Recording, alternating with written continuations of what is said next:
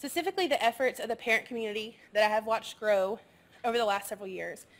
For myself, I have found this community to be an integral part of raising a child with systemic JA, and I feel that many of you probably could agree with that. The parent community is where we draw strength, gather wisdom from other parents that have already walked this journey. It becomes the people we vent to, especially when we can't find people in our close um, community at home that can't really relate to a lot of these issues. Um, one, for instance, is specialty pharmacies.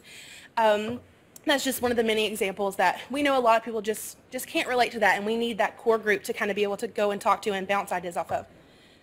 This community is who we celebrate our children's successes with, but it's also who grieves alongside of us when our children are unwell. So first, I want to take a moment to start to remember those who have lost their lives to SJA over this last year.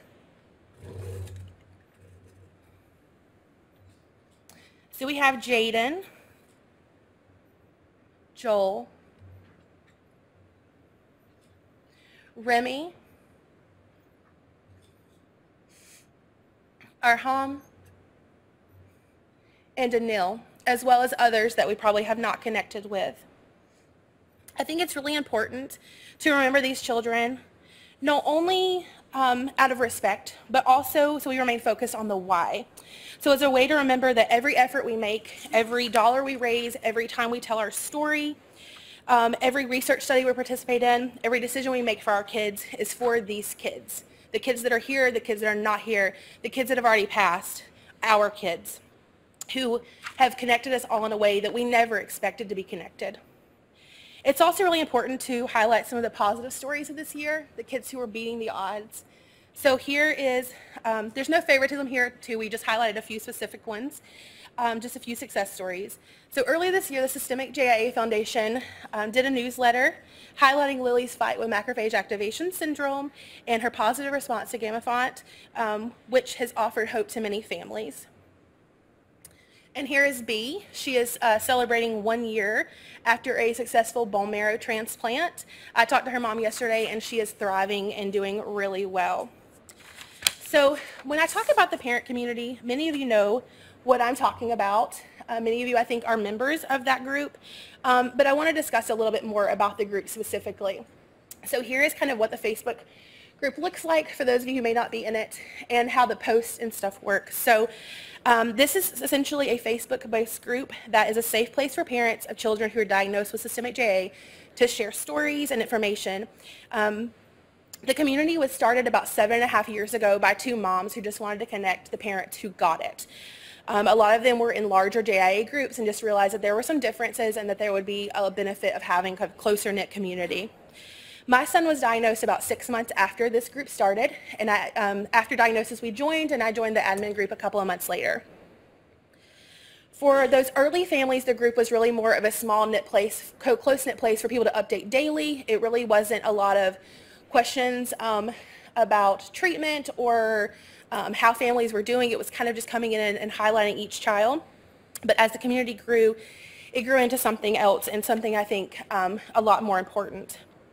So there have been many things over the time that changed the dynamic of group. For instance, um, several years ago, many of the families had been diagnosed for many years before they joined. Now we literally get people wanting to join where they're in the rheumatology office and they're saying, the doctor just said my child has SJA, I found your group, can we join? And that I think is really beneficial to families.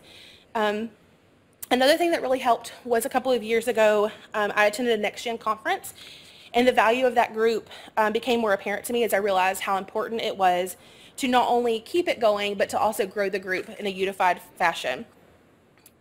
Um, we joke sometimes that if you mention SJ on social media, I will find you.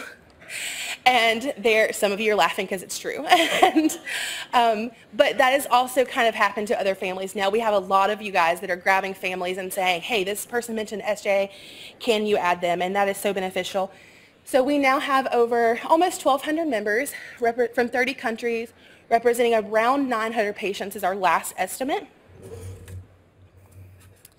We are 81% mothers and 19% um, men, fathers. And um, this actually is a better stat than about two or three years ago where we were like 92 to 8%. So a lot of the dads are joining. I think a lot of you moms are adding the dads sometimes, which is great too. And we do see the fathers becoming more active, which I think is very important. Um, when discussing the growth, growth, growth of the group, I think one thing to keep in mind is that you can have a huge group but not a lot of interaction. For us, we do have a lot of interaction, which is really beneficial. So we average about 170 posts 2,000 comments monthly and usually about two to 4,000 um, other interactions. So that may be a like, a view, that sort of thing. So my hope personally for this community has always been to act, be an active hub for sharing resources and information, um, but also a place where families can connect and form support systems and where we can partner with like the Systemic JA Foundation and just really grow that support. Um, I think we've all worked together really well in making this happen. And um, another thing I do want to highlight, though, that we've worked on as a community are community fundraisers. So you're going to see many of our kids, there's my little guy right there, with the heart t-shirts. I know many of you have them on. So when we did this first shirt that he's wearing, there were 50 names. The new shirt that we just did has 360 names representing over 500 of our children. And every single sale we get more requests to add kids. We're actually running out of room. The newest shirts have hearts on the front and the back. So I'm excited to say that our efforts have working together as a community, and it's really been a community effort of sharing this link. We have sold over a thousand of these shirts to our family and friends, raising over almost $11,000 in the last two and a half years. So another thing that happened is in January, the Systemic JA Foundation was able to get fundraising started on the Facebook platform, and that has been really popular, especially with extended family and friends who can very easily set up a, um, a fundraiser. I know a lot of us have done this during conference. It's one click, super simple, so you can recommend that to family and friends that want to help. And um, as of last count, I believe, Rosh, we checked last night recently, and that has raised over $20,000 for the foundation, which is huge. That's an amazing effort for such an easy way to fundraise. So just to kind of wrap up, my hope is that with all this information that you guys get today and that you realize how an integral part it is and how important it is for us to really be unified and to really stick together. Um, I think it's a vital important part for all of us living with a child with rare disease um, to stay unified in that effort and try to work together for the better of all of our children. And so um, next I'm going to introduce Phil, and he's going to speak to you a little bit about foundation efforts and his story as well.